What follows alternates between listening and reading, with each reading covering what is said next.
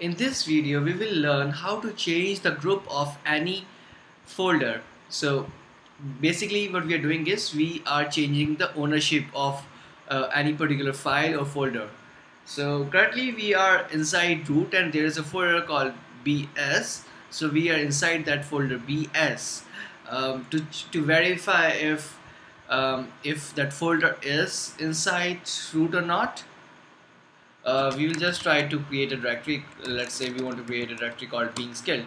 Uh, but says that permission denied because um, because you don't have permission to access or modify BS only root has. So just use sudo uh, space exclam exclamatory mark twice. Um, so now we have a directory called being skilled as well. And we can see that the the user's name is root so it is the owner of this particular directory now if you want to change the ownership of this particular directory then what we are then we what we have to do is we have to use a command called chown change owner. Uh, so before doing that we'll just go to uh, being skilled folder. And then we will just um, try to create a directory let's say ABC but we can see that we don't have permission to do that because we are using um, Bohemian Me as our current user which doesn't have uh, doesn't have any privileges to create that.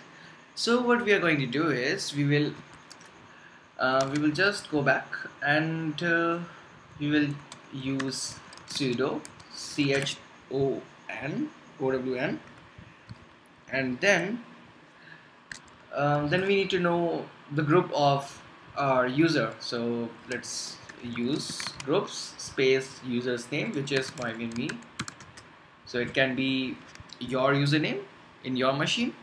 So we can see lots of uh, names over here and these names are actually groups names. So staff is one then everyone then admin and so on and so forth. Uh, each of them is separated by a space so staff is one everyone is another one. Uh, so here we are concerned about admin.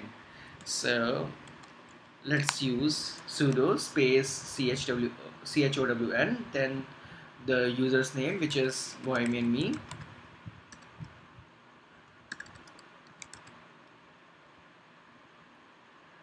Um, colon and then admin and then dot slash being skilled and now press enter now let's just check what are the permissions of being skilled folder.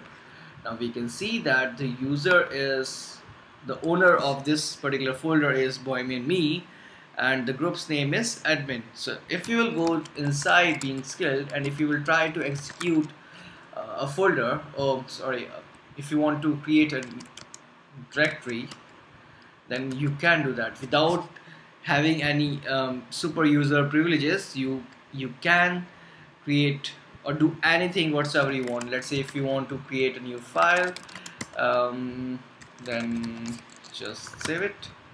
Now we can see that we have a new file as well. We have three directories as well. So this program becomes very handy when you know it and it's one of the most frequently used command where, um, if you are a system administrator of Linux. Thank you for watching the video.